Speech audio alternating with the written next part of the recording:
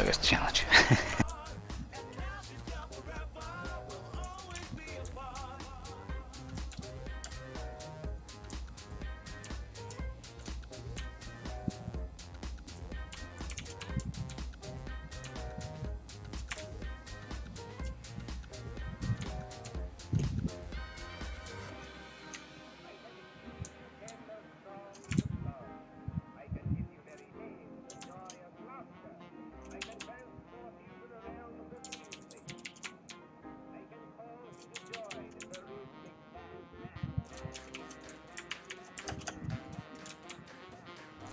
You might have to top me off with some heals.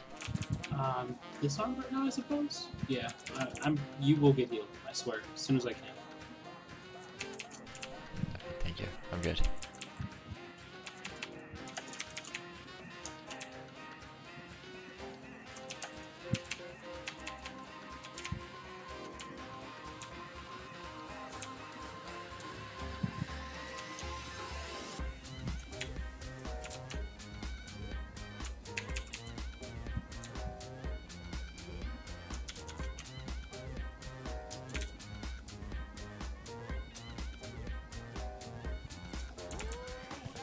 Where's this thrash?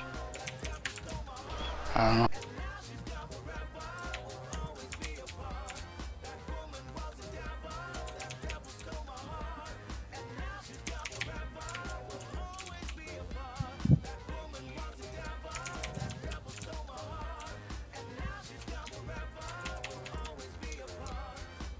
One more in